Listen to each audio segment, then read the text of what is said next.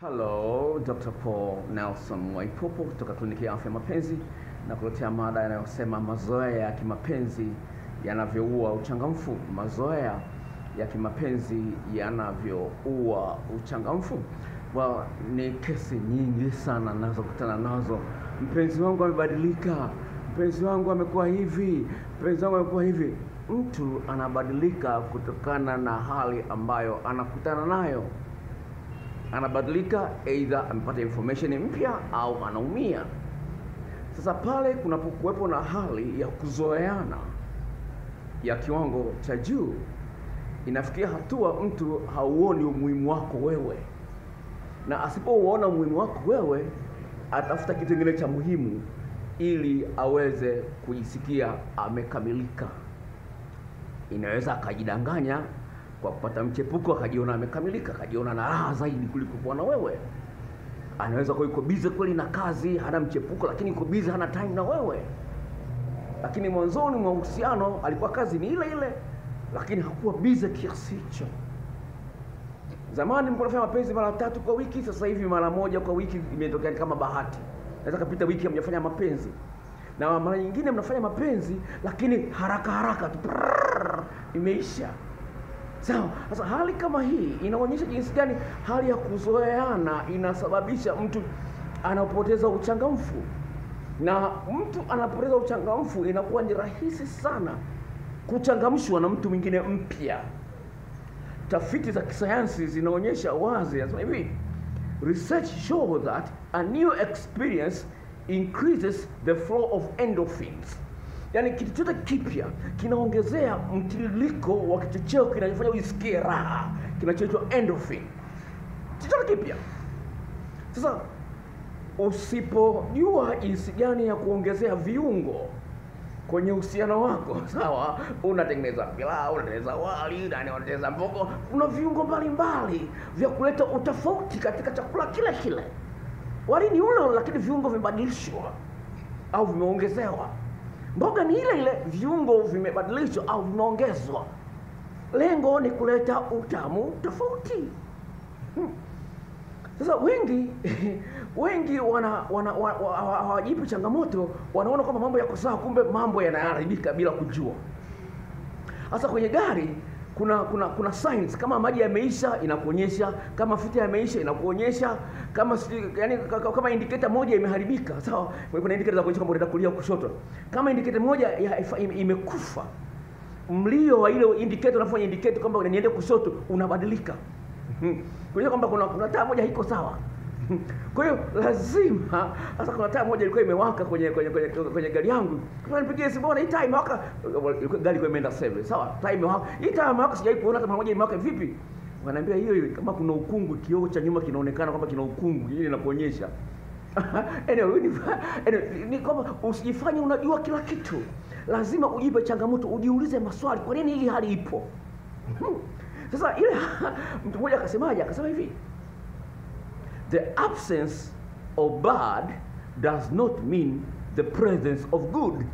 Yani kuto kuwepo kwa mabaya haimaanishi kuna mazuri.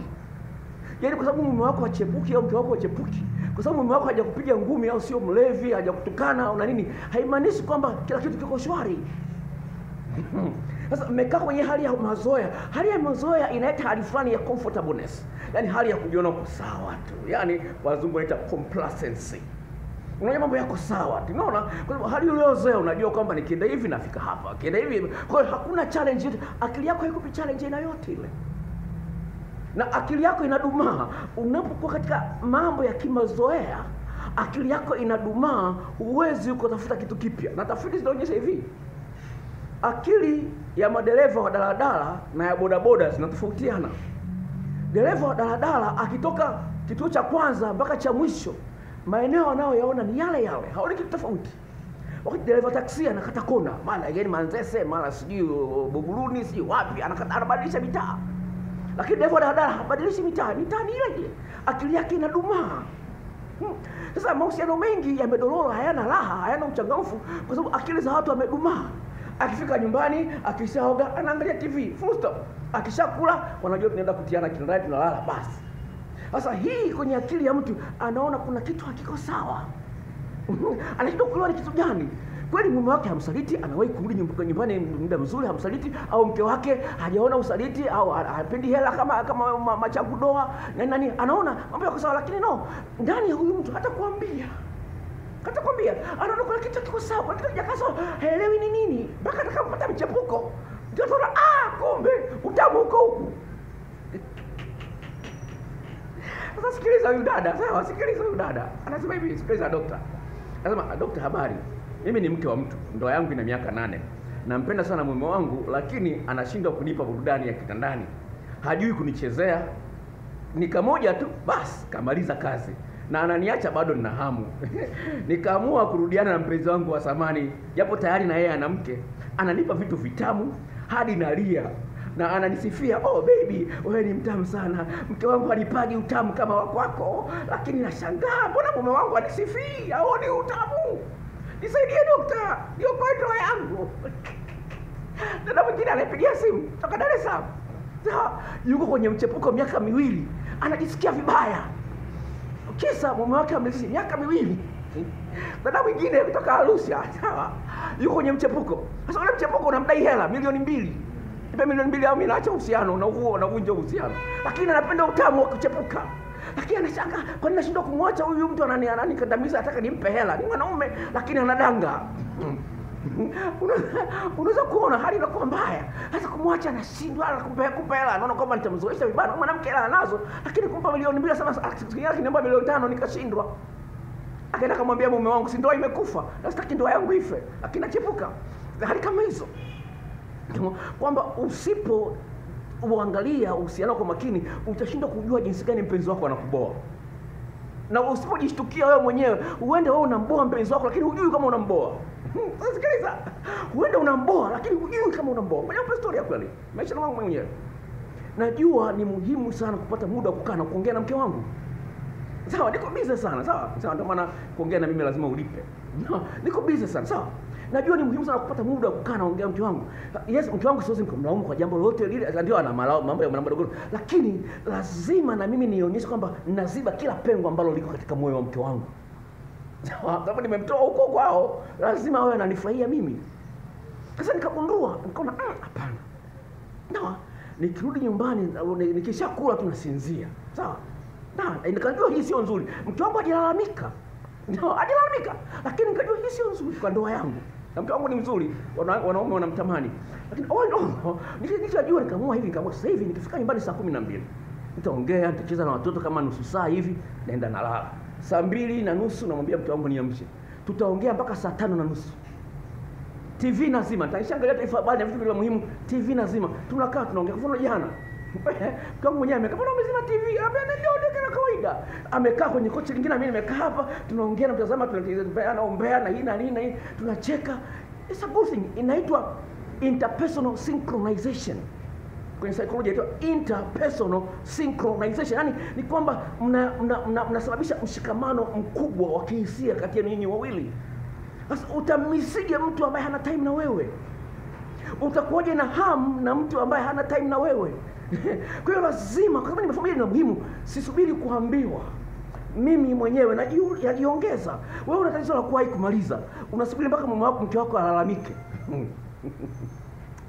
kwa sababu wewe unajua kama hili tatizo, lakini mpaka usubiri mpaka mke wako alalamike kama una tatizo la kuwahi kumaliza itakula kwako, atafuta mchepuko.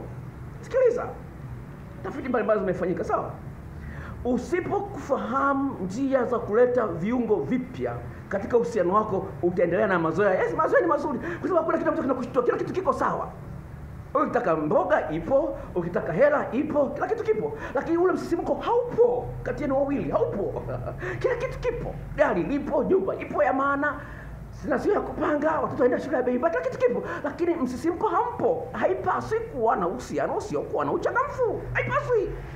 Ni mazingira ya hatari. Sawa. Mtu mmoja akasemaje? Akasema katika tafiti ya mada hii, akasema hivi, routine is only good if it is productive. Asema ile hali ya kuzoea ni nzuri pale tu ambapo inakuletea faida. unaondoka nyumbani unaenda kazini saa mbili lazima niwe nimefika ofisini haya ni mazoea kwa sababu ina faida ofisi inakulipa lakini pale ambapo mazoea hayana faida hatari mtu atatafuta kitu kingine cha kumletea mchangamfu katika nafsi yake. Sawa? Umeumbwa umeumbwa uwe na mamlaka sawa? Katika maisha ya mungu ameumba akasema kuenda mamlaka mtatawala vyote. Kwenye kitabu cha mwanzo sijui sura ya ngapi ya ya pili sijui ni wa mwanzo asema mungu akawapa mamlaka asema tawaleni vitu vyote isipokuwa tu msile mti wa tunda la katikati nitawaponza. Anasema nimewapa mamlaka tawaleni kila kitu kiko mikononi mwenu. Tumeomba na akili kutaka kutawala kila kitu. Hasa pale unapojikuta hamna uchangamfu katika maisha yako. Katika uhusiano wako hakuna uchangamfu. Hakuna ile furaha ambayo mlianza nayo. Nawa alafu ujui ufanye nini? Ni mbaya sana. Ukiona mtu anakuchekea chekea hata huyu huyu. Kajileta Eh, dada moja simjui sasa sikiliza kabisa sasa, dada moja simjui nanunua matunda mahali fulani. Na yeye ananunua. Alafu nimenunua a- akamwambia yule muuzaji dada mzuri kwa ana makalio mazuri amevaa vizuri. "Ah, mbona umempa ma, matunda yote mazuri umempa huyu baba? Nikamwambia "Ah, basi chukua tu chukua haya kwangu. Basi nikamwambia chukua haya kwangu basi ambayo mazuri. Akasema wewe nunulie tu moja. Unaona? Yeye yeah, amekuja amesimama ataka kununua ataka mimi nimnunulie manake anaomba anichepushe kinakutana na kigongo akichepuki kimeokoka. Haleluya. Lakini all in all ni hivi ni jambo la msingi sana. Mmoja akasema interrupt the routine. La ile hali ya mazoea lazima uishtukie. Sawa lazima uishtukie. Ukitaka uhusiano wako uende mbali umejaa furaha ile hali ya mazoea ipo. Kama mke wako anajamba sana kitandani anapokuwa amelala sio anakuaga makande sijui nini anajamba sana. Mwambie bwana jitahidi kudaluti huyu ushuzi wako. Oh, utie maji kidogo sio na harufu kali. Utani utani wa hapa na pale unasaidia. Sawa vitu vidogo vidogo mtekenye mkumbatie mpenzi wako. Ghafla kitu ambacho alikuwa hakitarajii unakifanya zawadi ni surprises. Ni kitu ambacho mwenzio alikuwa hakitarajii. Fanya. Sio unafanya kila kitu ambacho mwenzio anakitarajia. Inaboa. Ndo hayo mazoea. Do the unexpected sawa? Ndio maana outing ni very important. Sawa? Mmezoea mnakula tu nyumbani mnakaa tu nyumbani mnaangalia tv chumba ni kile kile nyumba ni ile ile rangi ni zile zile. Tokeni kidogo mwende mkale so mkanywe soda mahali mwingine tofauti mnaongelea sehemu tofauti. No, mapenzi kila siku mnafanyia tu chumbani. Kila siku mapenzi chumbani. Siku nyingine tafuteni mule mfanyie sebuleni. Kwa hiyo tengeneza utofauti sawa tengeneza utofauti ili mwendelee kudumisha msisimko kati yenu nyinyi watu wawili. Sawa. Sawa. Sawa. Sikiliza. Research shows that most happy couple gives more compliment than negative statements. Mara lini umemsifia mpenzi wako umemsifia amepika vizuri amevaa vizuri. Eh, eh, nimekumbuka. Hapo hapo. Kumsifia mpenzi wako na yeye inaleta utofauti kwamba ah, nimefanya kitu tofauti. This is good. Inaongezea mtiririko wa endorphin ambao inasababisha huyu mtu akufurahie kuwa na wewe katika mahusiano yake. Sawa? Uvaaji. Ha, unavaa tu ili mradi hauko uchi. Vaa katika ambayo inaleta utofauti. Si unavaa tu ambao umevaa. Jitahidi sana kuvaa vitu tofauti tofauti Eh, hata mara moja moja vaa kimini, hata kama ni nyumbani, vaa kimini, vaa zile nguo kata mikono na nini, vitu kama hivyo. Jitahidi kwenye tendo la ndoa, kadhalika. Kila siku tu wewe unajua kunyonya mboo tu basi, hujui zaidi hapo hujui jinsi gani ya mikono ya kuchezea mikono. Nimeweka ile video video ile kama jinsi ya kutumia mikono yako wakati tendo la ndoa, mke wangu kaiona, kaongezea utumiaji wa mikono yake, nikashangaa kweli, leo nashika shika kweli. Kwa hiyo kaiona hiyo video. Haleluya. Anyway, all in lazima uwe na vitu tofauti. Sasa shida ni kwamba unafahamu kwamba mwanamke ana maeneo kumi na sita lakini wewe unatumia maneno maeneo kumi na tatu sasa maeneo maeneo matatu tu peke yake. Unafahamu mmeo katika mwili wake na maeneo kumi na mawili wewe unafanya unafanyia maeneo matatu au mawili tu basi. Kwa hiyo mwenzio anajua utaanzia wapi utaishia wapi, anaboreka na wewe. Kwa ukifahamu kwamba mwanaume ana maeneo kumi na mawili- ana maeneo kumi na mawili katika mwili wake ambaye ana miisho mingi ameshafahamu, ukafahamu jinsi ya kuitumia, itamsaidia aweze kupata raha na kuona tofauti. Ukifahamu kwamba mwanamke ana maeneo kumi na sita unabadilisha badilisha mambo ili asiboreke na wewe. Hii ni kliniki ya afya mapenzi. Namba zangu nakuandikia hapo chini, utazichukua sawa, tuwasiliane, niweze kusaidia katika maeneo mbalimbali.